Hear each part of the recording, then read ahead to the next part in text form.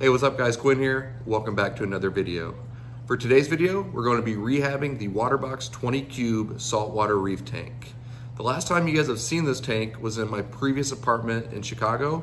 However, we are now in my classroom.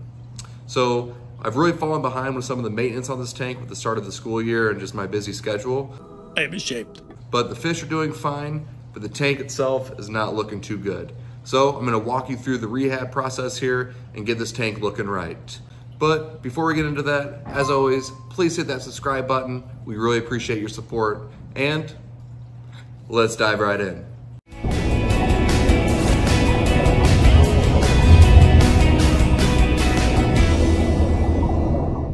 All right guys, so here are the classroom aquariums. This fish room has been four years in development and has gone through a ton of changes over these past four years. But overall, doing pretty good, but always room for some improvements, specifically right here. All right, so as you can see, the tank is not looking great right now. Filthy.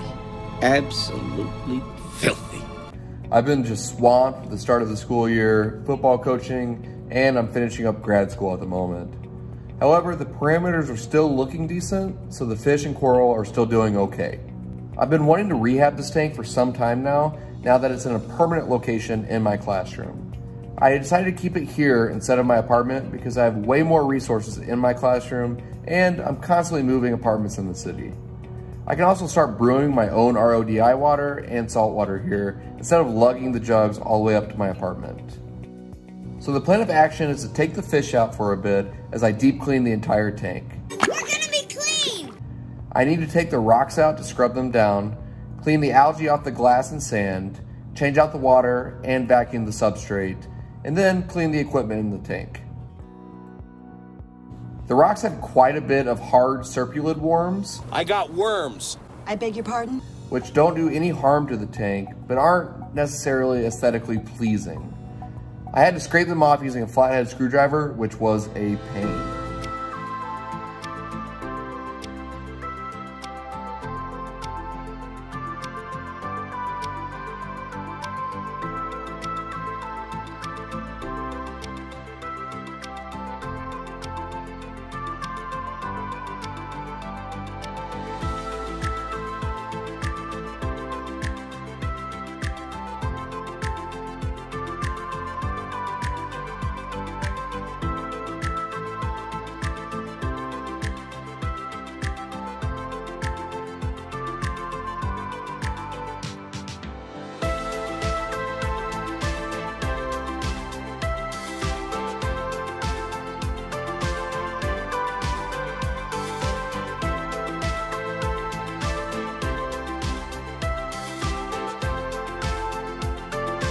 After the water was drained, equipment was cleaned, and the rocks were scraped, it was time to start filling the tank back up with fresh salt water.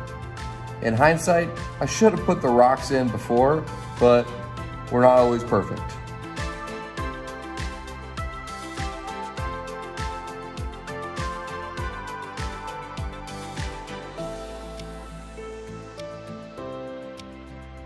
So I got the new fresh water in.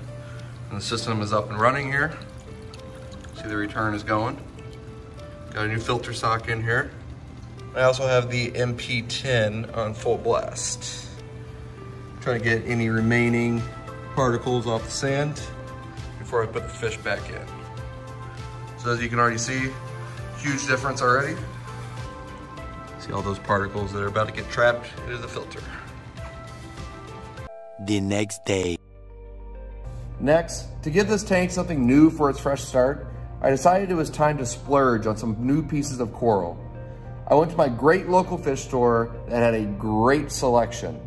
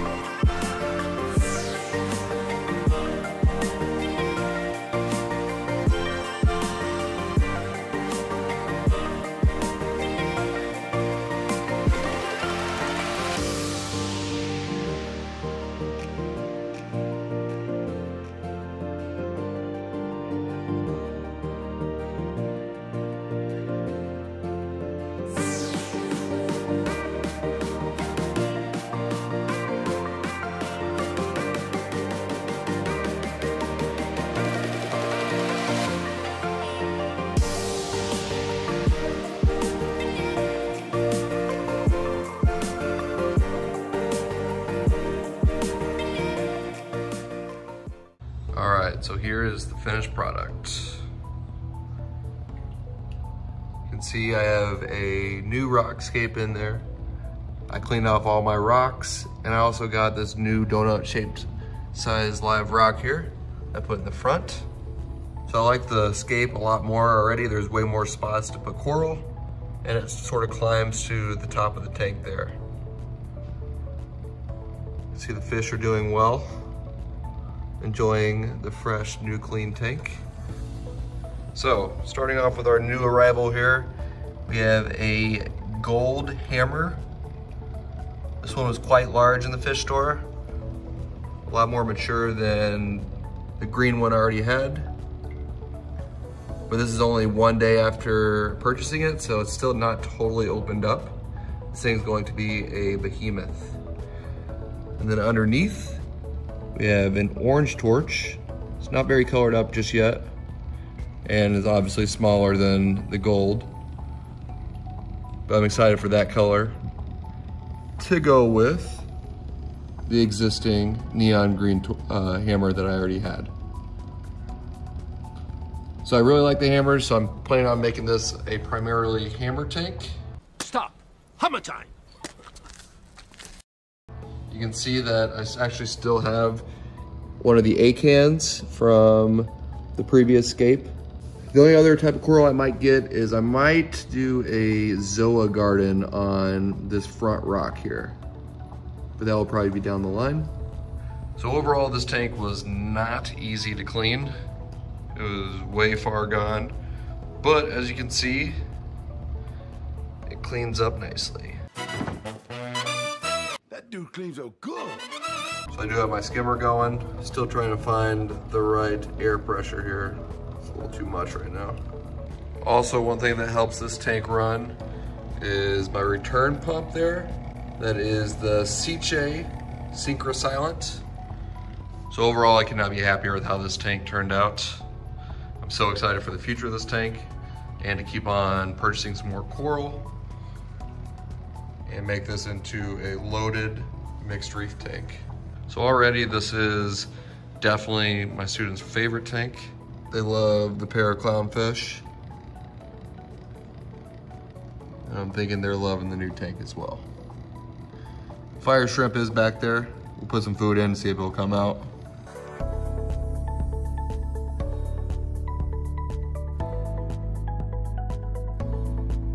All right, so I'm to the point that I am pretty happy with the condition of mostly all my tanks. The fish room is looking great at the moment.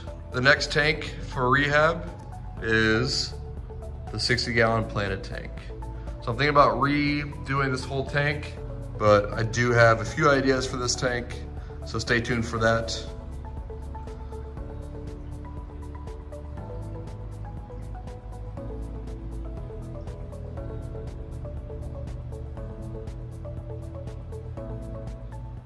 All right, guys, so that's it for today's video. I hope you enjoyed the video as much as I enjoyed rehabbing this tank. I'm so excited for the future of this tank and all the future videos. We'll be sure to keep you updated.